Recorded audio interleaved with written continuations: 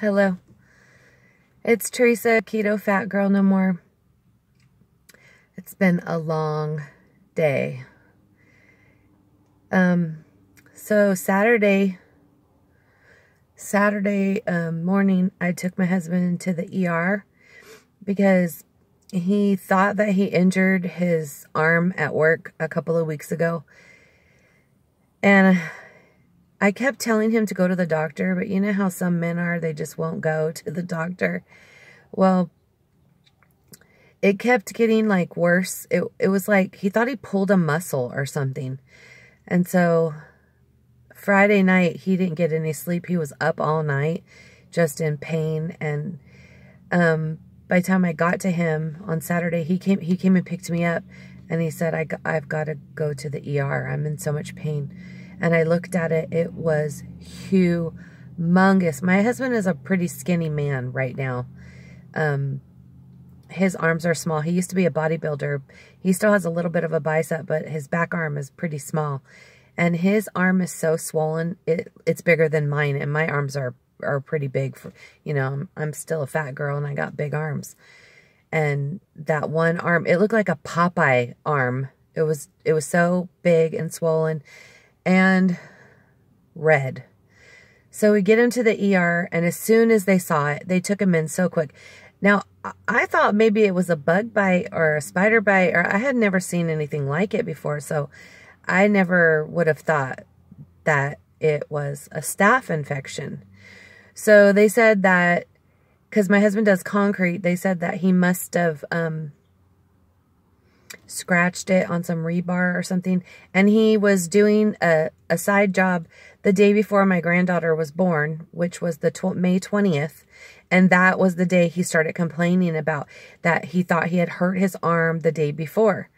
So he, he, he said that he thought he pulled a muscle. So anyways, they took him in real quick and immediately started talking about admitting him.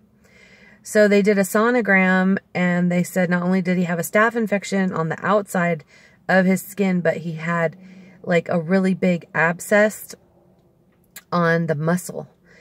So that was that was yesterday. I'm so tired.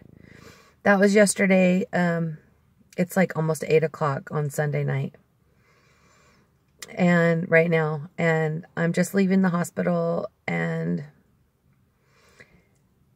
he he was supposed to get surgery today. They didn't give him the surgery. They said they need to send him to another hospital that has an MRI machine because they want to give him an MRI because they want to see exactly how big it is and exactly where it is so they could take it out.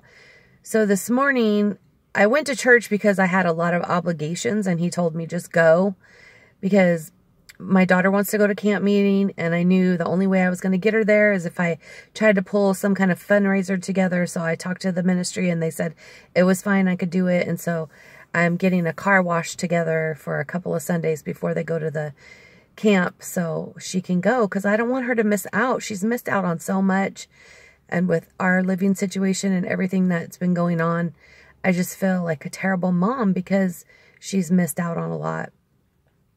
So I was at the church, and when I got out of church, I called him, and he said that the doctor had said that his heart, or the nurse had said that his heart rate was really low.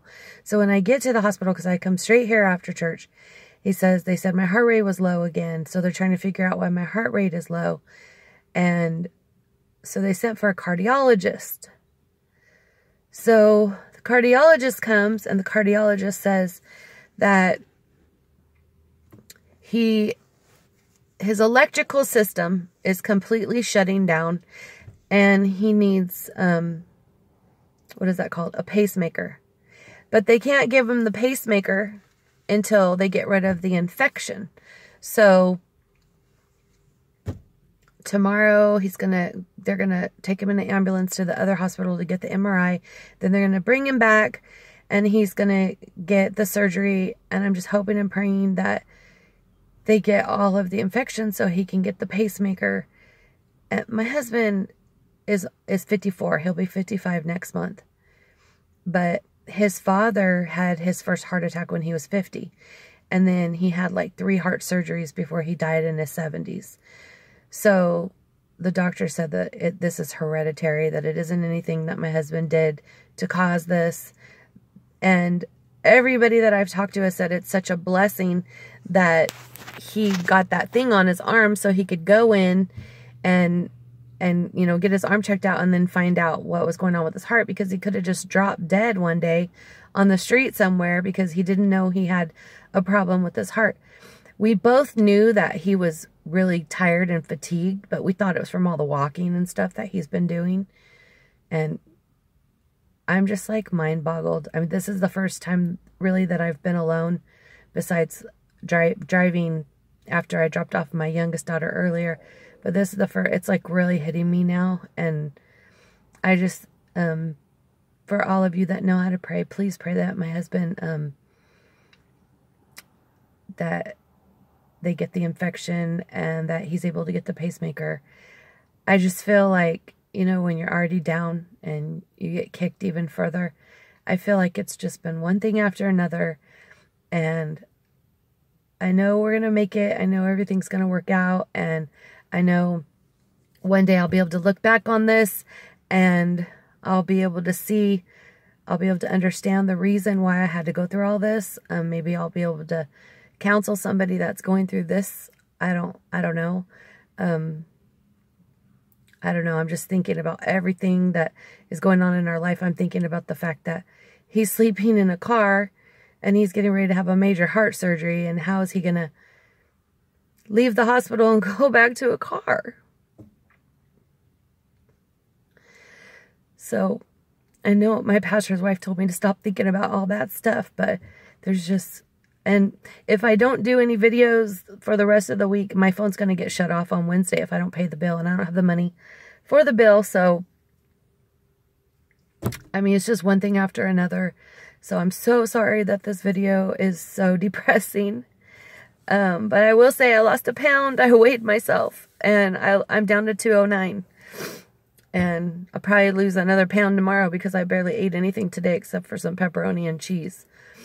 But I really don't even care about that right now. I'm just worried about my husband and just worried about our living situation and where's he going to go when he gets out of the hospital.